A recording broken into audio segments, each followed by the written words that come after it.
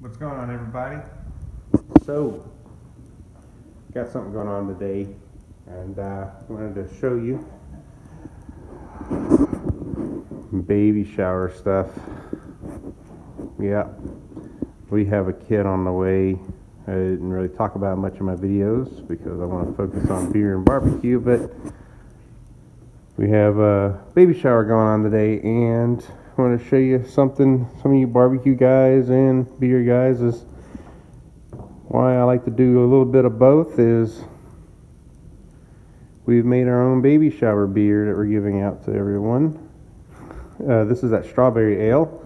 That's why I made it was uh, for the baby shower. So you can see it. Uh, my wife made the labels. I think they're pretty cool, huh? But yeah, I got about uh, 16 of these. We only have we have a handful of people coming over, not a whole lot. Um, and we got some gifts on the table here. But that's not the only thing. Let's go outside.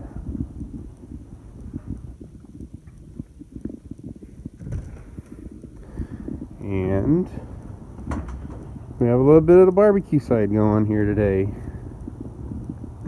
Uh, monitor's going off here. Show you what we got going on here. Pork shoulder. Now this is the same pork shoulder recipe that I did way early on in my videos. I'm actually thinking about doing a revamped version of it. But yeah, you see it's cooking right along. And I don't even have water or anything in here. These Kamados, this Char-Gril or Akorn, you know, Kamados, any Kamado, they hold moisture so well. You really don't even need a water pan. I do it sometimes, but pork shoulder's already got so much fat marbled in it that doesn't really matter. But because I like to do both barbecue and beer, that's what we're doing today. Um, so yeah, this is uh should be good, but that just goes to show, hey, if you can brew your own beers, make your own barbecue, you can take care of your situations, your festivities, and let's uh go out to the garage. Hey dog, what? Forgot. Show you all my barware here. Oh yeah. All right. All right. And this is actually a beer here that I did for our wedding. My wife made these labels as well. And uh, yeah, this was a uh, Texas Bock beer that we made. And uh, we have a couple bottles left over, and that's from like three years ago almost. Four years? Three years? Yeah, three years. And let's see, what do we want to use here? let's go with, hell, let's go with a standard old Pilsner glass, or pint glass, I should say. All right. Now let's go to the garage.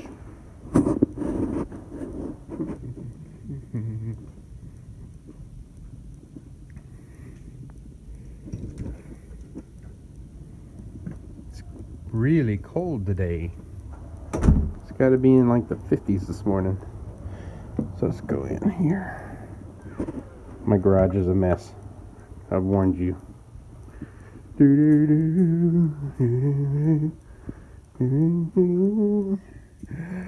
Oh, we have another beer on tap.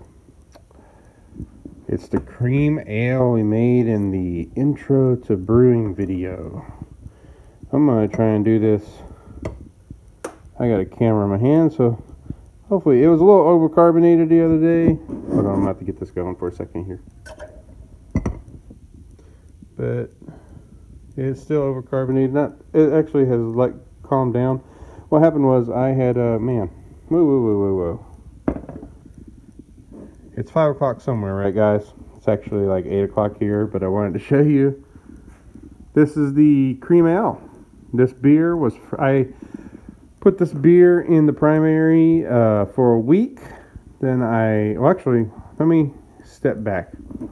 I never transferred this beer. This beer sat in primary only for two weeks. And then I kegged it.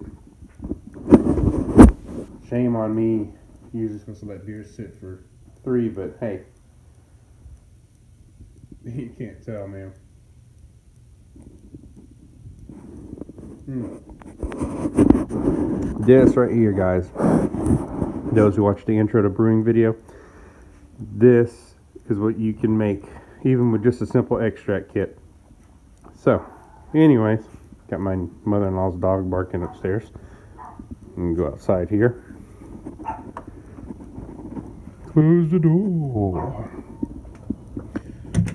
But I made this beer uh, for today.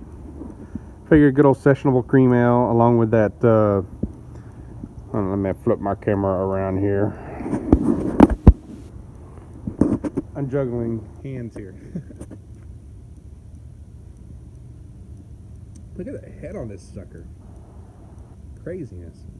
So, I uh, I made that Scottish ale, and I made the uh, um, the cream ale, and then I have that baby shower brew, and then I have some uh, brown porters or yeah brown porters also. So we're we're well stocked on brews for today. I just wanted to say good morning, hello, and uh, that's it, man. Uh, I don't know what I'm gonna video next, but something's coming. Cheers. Have a good day.